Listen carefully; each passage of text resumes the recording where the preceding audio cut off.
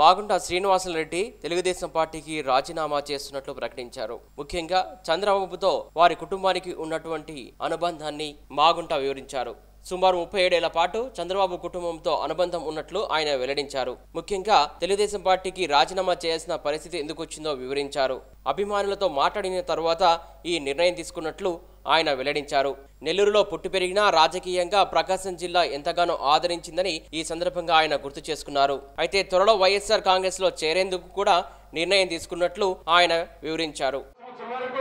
కాంగ్రెస్ పార్టీలోనూ కూడా దాదాపు ఆరు పర్యాలు కుటుంబాన్ని ఎప్పుడు కూడా గౌరవించారు ఉన్నప్పుడు కూడా. అదే విధంగా ఆ తర్వాత రెండు వేల పద్నాలుగు సంవత్సరం వచ్చినప్పుడు రాజీనామా కాంగ్రెస్ చేసిన తర్వాత ఎక్కడ మా రాజకీయ భవిష్యత్తు అనేది ఆలోచిస్తున్న సమయంలో మన ముఖ్యమంత్రి చంద్రబాబు నాయుడు గారు పిలవటం తెలిసిన విషయం తెలిసిన విషయమైంది. మా సంబంధం ఏమిటంటే దాదాపు ముప్పై ఏడు సంవత్సరాల సంబంధం ఇది. చంద్రబాబు నాయుడు గారు మేము ఏ పార్టీలో అతీతంగా ఉన్నా కూడా వారు ఎప్పుడు కూడా మా అన్నగారు కీప్ చేసి మాగుడు సుబ్రహ్మరెడ్డి గారిని సుధాకర్ రెడ్డి గారిని నన్ను అత్యంత ఆప్యాయత కూడా చూసేవారు ఉన్నప్పుడు కూడా.